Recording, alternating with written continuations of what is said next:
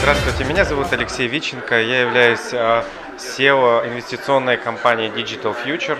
А, Мы основаны в 2014 году и на сегодняшний день мы являемся одним из самых активных инвесторов. А, За последние два года мы а, закрыли около 4, где-то 15 сделок на сумму около 5 миллионов долларов. А, Мы верим в украинские стартапы, мы активно инвестируем в украинские стартапы.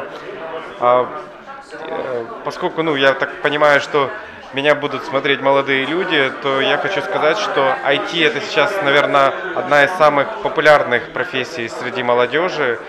Э, И э, если вы пойдете в IT, я могу с уверенностью сказать, что, скорее всего, вы сможете получить высокооплачиваемую работу, и при этом вы можете работать в, любом, э, в лю- в любой точке э, земного шара. Спасибо огромное. У меня еще такой вопрос. Мне очень приятно, что вы сказали, что э, несмотря на то, что там в Украине тяжелое положение, инвесторы готовы вкладывать в украинские стартапы. Это правда, да? Да, да. А, абсолютно правда.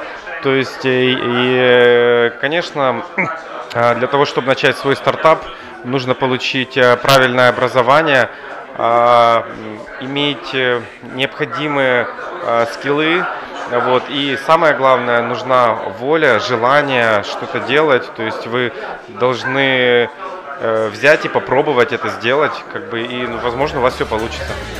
Спасибо вам большое. Спасибо.